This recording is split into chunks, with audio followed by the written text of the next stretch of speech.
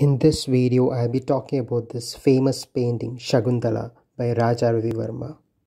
Ravi Varma's painting is based on Kalidasa's famous play Shakuntala, which in turn is inspired by the story of Shakuntala from the Mahabharata.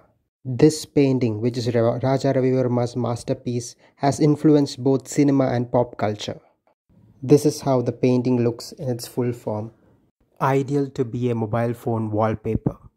The older generation had used it as a calendar photo or a portrait in their drawing room.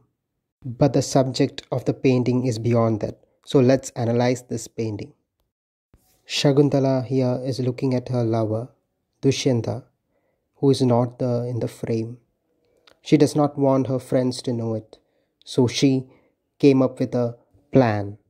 As they are traveling to pick up flowers, she acts as if a thorn has pierced her heel, and this is a good excuse to look back.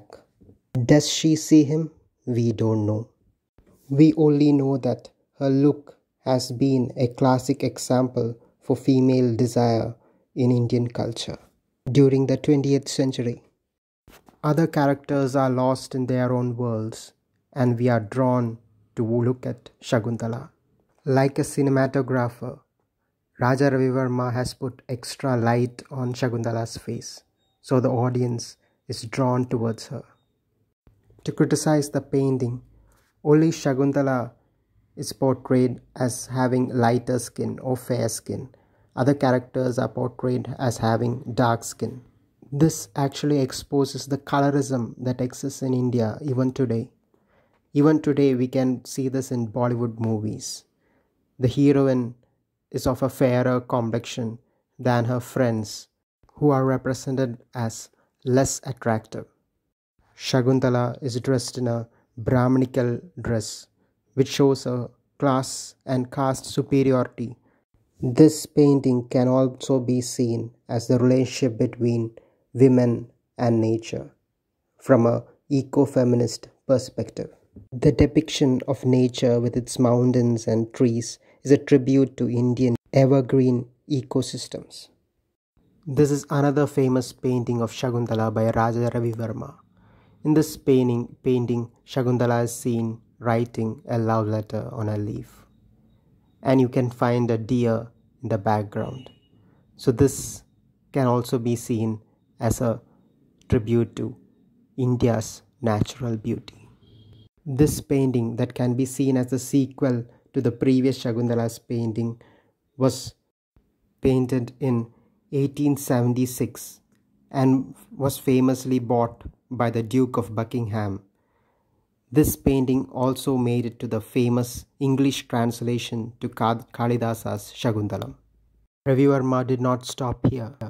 The baby seen in this famous painting is actually Shakuntala. Vishwamitra was Shakuntala's biological father. He actually had her with the nymph Menaka. But after the birth of Shakuntala, he rejected to look after the child, and, and she was brought up by Kanva, her adoptive father. Ravi Varma had already made a painting about the love affair between Menaka and Vishwamitra. Here also, the eyes of the woman looks at the man with desire.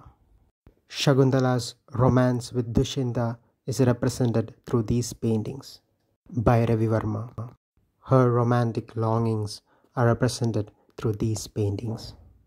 Her son Bharata and his unification with his father is also represented by Ravi Varma. Ravi Varma also went on to represent Shakuntala's final reunion with her mother Menaka. The entire life of Shakuntala can be watched like a movie by just browsing through the paintings of Raja Ravi Varma. Thank you for watching. Like and subscribe.